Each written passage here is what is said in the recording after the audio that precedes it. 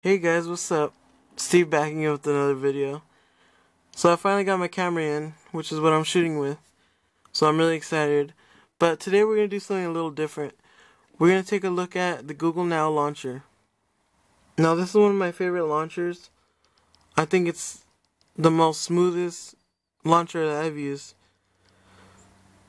So as you can see, you can customize what you want to see. Like it's um, it's like a news feed it's almost like briefing.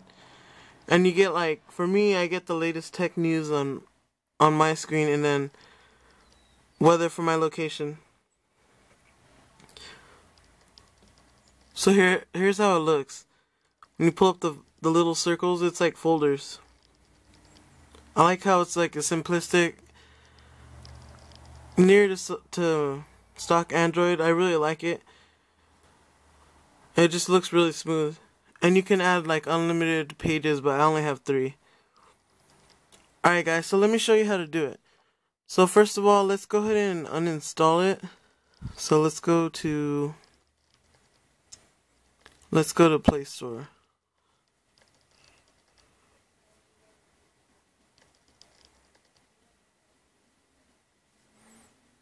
Oh, and by the way, I, I do have the Google keyboard. I really like it. So let's go ahead and uninstall it so I can show you how to do it. it's actually really simple. There's really nothing to do. So all you do is you look up Google Now Launcher on the Google Play Store.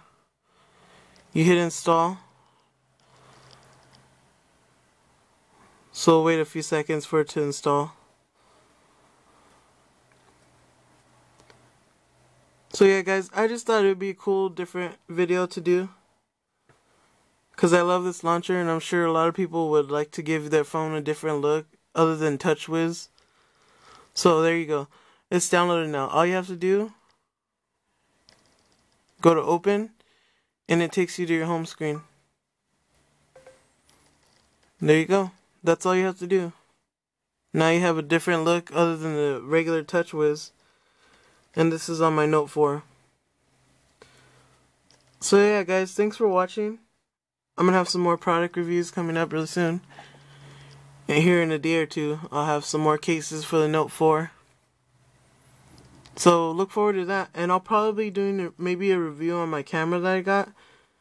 Because I think it's like a really great starting camera for someone that's starting out on their YouTube. I think it's very affordable and it'd help out a lot of people. So let me know if you guys want that a review for my camera. It's a Samsung WB350F. So it's really awesome and I can sync it with my phone and send pictures and videos back to it. So it's awesome.